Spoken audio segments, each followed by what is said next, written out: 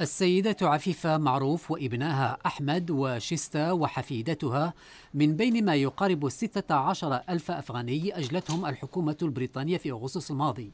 بعد سقوط كابول تاركين كل شيء وسط مخاوف من تعذيبهم أو قتلهم على أمل العودة إلى أرض الوطن.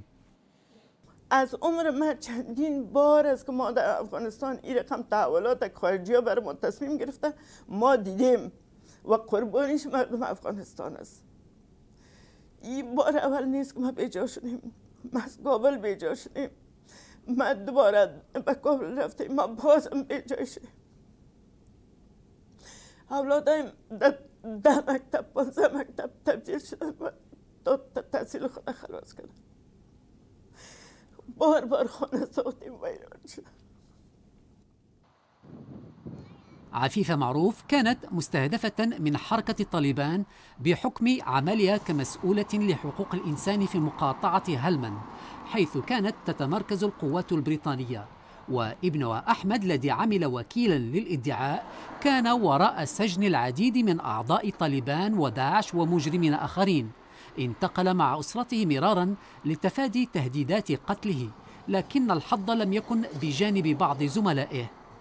من دیگه گفتنی خاص نیست که ولی اگر از طریق رسانه از اینا نشر شوم چون که ما یک تعهد داشتیم با دوستا با همکارا که صدای ما را هر کس مشنوه منذ وصولها إلى بلدة لوتن تقيم أسرة عفيفة بشكل مؤقت في غرف فندقية كأغلبية اللاجئين الأفغان وهم يشعرون بعد أشهر بيأس أكثر بشأن تأمين منازل دائمة والإندماج في المجتمع خصوصا وأن بعضهم لا يتحدثون اللغة الإنجليزية ويصعب إيجاد عمل إذا لم يعرفوا أين سيعيشون حتى وإن كان دافع الضرائب يتحملون ما يقارب من خمسة ملايين جنيه تقريبا كلفة إيواء اللاجئين في بريطانيا يوميا.